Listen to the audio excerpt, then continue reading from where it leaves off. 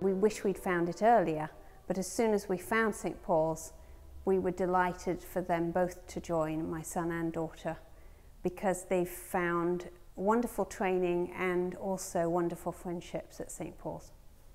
Any children's choir experience can be wonderful, but this one in particular, with its focus on theory and sight singing, is very important for children. I think for me, the most important thing though is the exposure to this exquisite repertoire. It's just, my daughter now loves this music and it's, it's gorgeous music. It's beyond the kind of music she would sing in any other group and it's spiritual uh, as well. They're singing Baroque, classical, romantic, even 20th century music at a level that really is professional. I will say as a musician that I knew that when my kids were ready to begin their own musical studies, this was the place I wanted to bring them.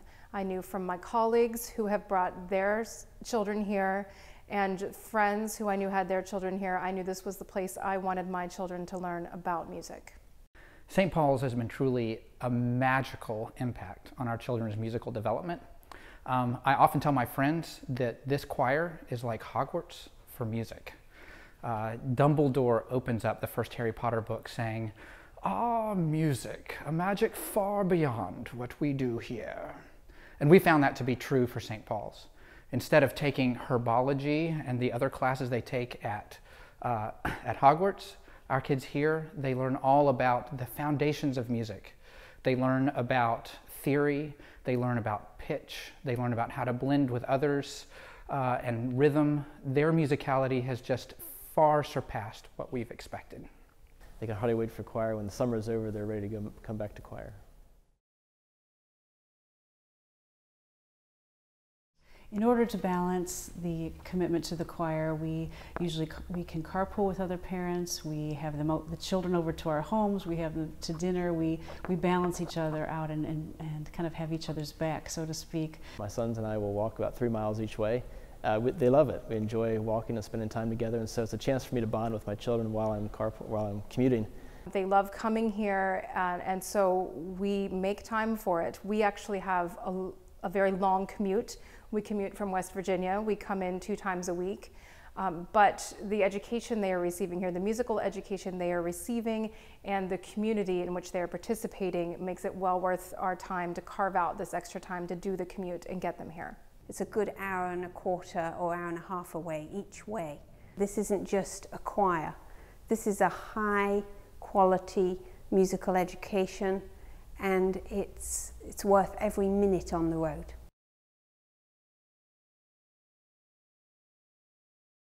Sometimes we'll meet people at museums or uh, for, for day trips, field trips, uh, restaurants. So it's, it's very informal but uh, it, it, happens, and we're always excited to go to the next party. They can be in line, ready to come into the chapel discussing baseball cards, or they can be discussing the proper pitches. And just the interaction on so many different levels is something they appreciate. And here in this chorus, the kids of all ages, from the very youngest to the very oldest, mixed together both socially and, and in ways where they mentor one another. It's really been amazing the way the kids have gotten to mix with boys, girls of all ages. We had just done some of the snow sledding or, or sledding that they have at the zoo lights. The children began to sing Christmas carols, and it wasn't good enough for them just to sing the melody of the Christmas carol. They decided they had to sing the Christmas carol in four part harmony. And it was just such a joy to walk through the National Zoo as the children in front of us were singing four part harmony, O Come All Ye Faithful.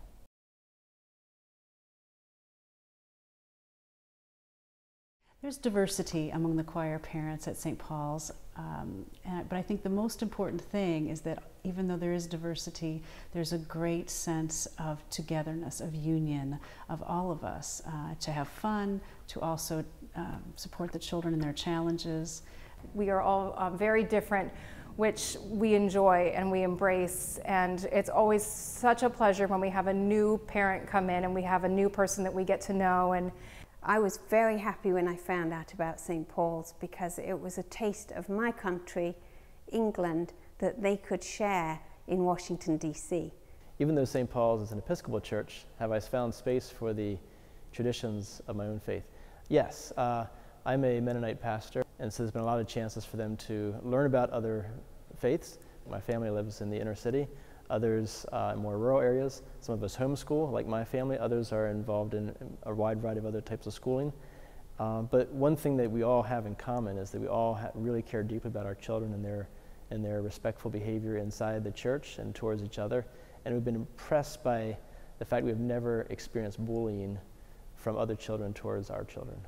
We are Episcopalian in a little bit different of a, of a service style, but we also appreciate what they have here and it allows the children to see a whole new way of worshiping that, that I think is really valuable.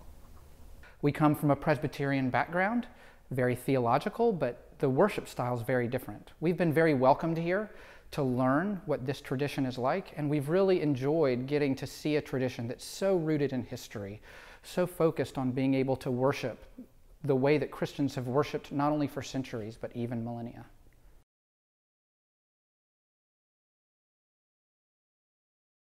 Being a chorister has greatly helped develop my children's faith. They are learning the Psalms, they are, are memorizing Psalms, they are memorizing scriptural passages just from the anthems. I think my, my children are both much more excited about Scripture, excited about uh, learning the roots of the Latin songs they're singing. And around the house, he'll be singing uh, songs of praise to the Lord. And so I just am amazed at how he uh, has taken a, a a step away from just looking at the social interaction and the playtime, and now he just enjoys the purpose of what he's doing. And they know the Psalms now, and that's a wonderful thing for our family. They are all here out of their love of the music, and there is a certain joy and a certain um, appreciation and love of the music that that the children have and it renews me and reminds me of why I got into this field and why I love what I do. And I've been amazed at how the music directors are teaching them how to apply faith to their lives, not only just teaching them how to sing well.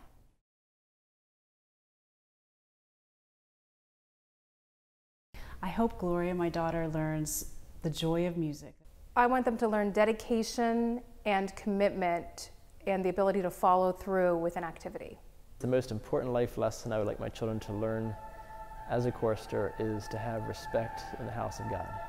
To be a good leader, to take responsibility for the younger children, and to help them to learn alongside.